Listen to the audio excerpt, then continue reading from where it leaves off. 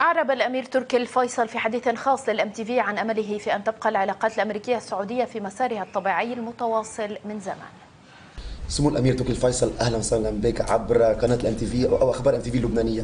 أهلا وسهلا ب MTV واهلا MTV. شكرا. سموك دعنا اولا نبدأ عن إعلان البنتاغون بإرسال 3000 جندي أمريكي.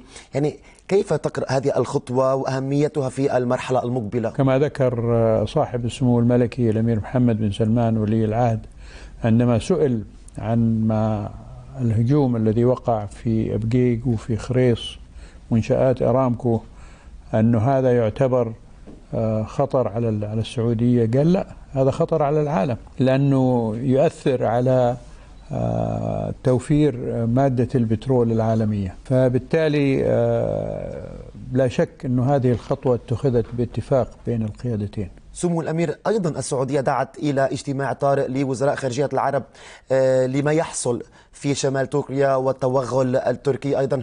برأيك يعني أهمية هذا البيان ماذا سيؤثر في المرحلة المقبلة أيضا؟ أرجو أن يكون له تأثير لإقناع ليس فقط الأتراك وإنما أيضا لإقناع سميه جزار سوريا اللي هو بشار الأسد.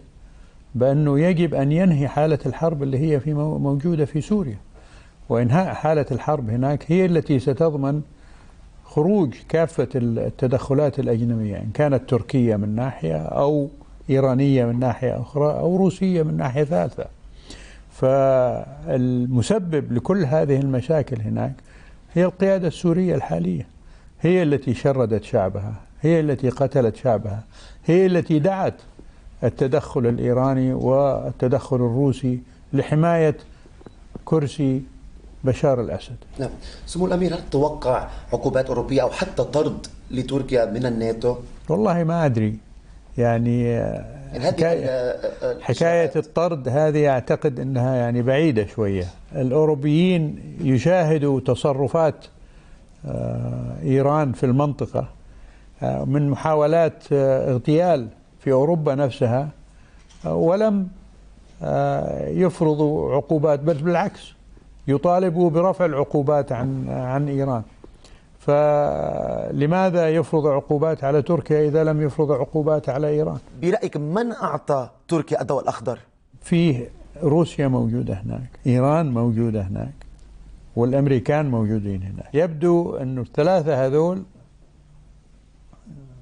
يعني غضوا الطرف عن أنه يشاركهم في غزو آه، سوريا السيد أردوغان. بعدما تخلى ترامب عن حليفه أو آه، حليفه الكردي في شمال سوريا هو من حارب للأمريكيين ضد داعش. آه، ألا تخشى المملكة أيضا أن يتخلى ترامب عنها أو بمواقفها المتقلبة دائما؟ لدينا قواسم مشتركة وتجارب مشتركة أثبت الطرفين فيها التزامهم بما يلتزموا به تجاه الآخر. ف أرجو من الله سبحانه وتعالى أنه الرئيس ترامب ما ما يغير رأيه بالنسبة لتوافقه مع المملكة العربية السعودية. نتكلم عن العلاقات اللبنانية السعودية، يعني هنالك شعور هذا الشعب اللبناني بأن المملكة العربية السعودية تخلت عن دعم لبنان أو بمعنى آخر توقفت عن دعم الحكومة اللبنانية كما فعلت في الماضي لأسباب تتعلق بحزب الله، ولكن بالمقابل المملكة تعرف تماما آه، السياسة الداخلية المعقدة اللبنانية وخيارات آه، بعض الافرقاء أو عند بعض الأفرقاء السياسيين محدودة جدا فيما يتعلق بحزب الله ما رأيك في ذلك؟ مما سمعت في وسائل الإعلام وقرأت في تصريحات المسؤولين أنه المملكة سمحت لمواطنيها بالذهاب للبنان فإذا كان هذا يعتبر تخلي عن عن لبنان. ما أدري إيش اللي ممكن يثبت لديهم هالفكرة إنه المملكة ما تخلت عن لبنان، كما إنه حسب ما أقرأ في الصحف وخاصة الصحافة اللبنانية وأشاهد على بعض المحطات التلفزيون السفارة السعودية في لبنان لها نشاط وباع طويل في رعاية مشاريع آه، كبيرة جدا. وهناك آه، مبالغ طائلة سعودية مودعة في البنك المركزي آه، اللبناني. لتثبيت العملة اللبنانية ولدعم الاقتصاد اللبناني.